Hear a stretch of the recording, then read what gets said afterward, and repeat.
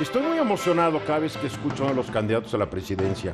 ¿Por qué? Porque todos prometen tantas cosas que yo digo, si fuera iluso, viviría en el país de las maravillas. El primero que empezó a prometer cosas así medio descabelladas era el licenciado López Obrador. Ah, pero como ya vieron muchos de sus competidores, bueno, todos los otros cuatro rivales, que prometer no empobrece, pues ya están todos prometiendo de todo, que ve que dinero para las amas de casa, dinero para las madres solteras, dinero para los estudiantes, dinero para todos. Van a repartir nuestro dinero, claro, no el de ellos. Pero no nos preocupemos. A la hora de la hora, el que gane, como todas las veces ha ocurrido, pues no va a cumplir sus promesas. Las encuestas muestran que temas que antes no nos preocupaban a los mexicanos hoy nos quitan el sueño hasta hace no muy poco, la corrupción y la impunidad que desde siempre han existido en nuestro país parecían no molestar a la mayoría. Tal es porque muchos pensaban que tarde o temprano algo les tocaría del botín. Hoy, los políticos en campaña prometen acabar con ambas sin explicar muy bien cómo lo piensan hacer, pero ya es un comienzo. Antes, hace no mucho tiempo, nuestros gobernantes, sin importar a cuál partido político pertenecieran, aseguraban que la violencia no afectaba a la economía del país, pese a que muchos denunciábamos, basados en los fríos números, que sucedía lo contrario. Hoy no hay político o funcionario que se atreva a asegurar tal estupidez. Tardo o temprano la realidad se impone sobre las mentiras, la demagogia y la propensión que tienen los políticos de negar una mala situación que no les conviene aceptar porque son, en gran medida, responsables de la misma. Los lemas de los candidatos que desde 2000 a 2012 ganaron la presidencia de la República muestran cómo sus promesas se adaptaban a la realidad que había en ese momento. En 2002, Fox, eh, en 2000, perdón, Vicente Fox prometió sacar al PRI de los pinos porque entendió que la mayoría de los mexicanos estaba harta de los 70 años ininterrumpidos de gobiernos federales en manos de priistas. La historia muestra que la alternancia no significó el anhelado cambio de régimen. En 2006, Felipe Calderón prometió ser el presidente del empleo, después de que no lo benefició presentarse ante los votantes eh, como el candidato de las manos limpias. Los números muestran que durante la presidencia de Calderón solo se generó la mitad de los empleos formales que debían crearse. Fue un fracaso. En 2012, Enrique Peña Nieto, consciente de que ya nadie creía las promesas que hacen los políticos en campaña, se comprometió ante un notario cumplir las suyas. Te lo firmo y te lo cumplo, fue su lema. Desafortunadamente para México, ni el firmar ante notario sirvió de mucho, ya que de acuerdo con una investigación realizada por sinembargo.com, al 3 de febrero pasado el presidente solo había cumplido 102 de dichas 266 promesas, el 38% del total. La oficina de la presidencia asegura que antes de que acabe su sexenio, el presidente habrá cumplido con las 164 promesas faltantes, aunque yo creo que es muy poco probable que pueda hacerlo. Hoy los cinco candidatos presidenciales prometen acabar con la corrupción, la impunidad y la violencia. El primero de julio sabremos cuál de ellos convenció más a la mayoría de los votantes y en 2018 sabremos qué tanto falló el presidente, perdón, en 2024 sabremos qué tanto falló el presidente saliente mientras nos preparamos para escuchar las promesas de quienes en ese año buscarán la presidencia de la República. Es cada seis años, es el mismo proceso. Es un proceso padrísimo. ¿No? Y además se va a Es llenar, divertido, ¿no? se va a llenar. YouTube de videos, de promesas y de, Y de cosas que no memes. cumplieron y de memes y yo lo agradezco porque generan mucho contenido, ¿no? Alguien diría que somos cínicos. Somos cínicos, somos realistas al, al realmente ya no creer nada. Pues fíjate, Eduardo, es que yo, yo creo que es un tema de realidad, o sea, es realistas porque todos los sexenios pasa lo mismo, todos los sexenios viene todo este ruido de promesas, a pesar de lo que estabas comentando de que hubo una, un- una campaña de Peña Nieto en donde te lo firmo y te lo cumplo, eh, a pesar de eso no se siente porque esas promesas eran muy particulares, muy individuales. Por ejemplo, Pero recuerdo... además ha cumplido, no ha cumplido el 62%. Así es, pero te prometo que voy a cumplir 500, ¿no? Y una de esas 500, voy a recordarlo así, era un puente en un lugar que en mi vida he pasado por ahí, ¿no? Entonces, yo Oye, no...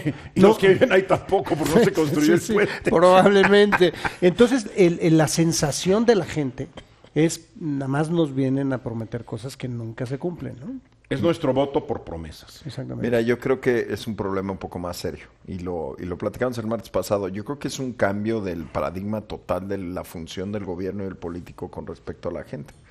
Eh, y si lo analizas fríamente, esta es la crisis que está pasando en Estados Unidos. Yo, yo me atrevería a decir que es probablemente el primer presidente que lo que dijo que iba a hacer lo está cumpliendo y está sacudiendo nos mucho. o no. Nos guste o no, no le gusta a mucha gente.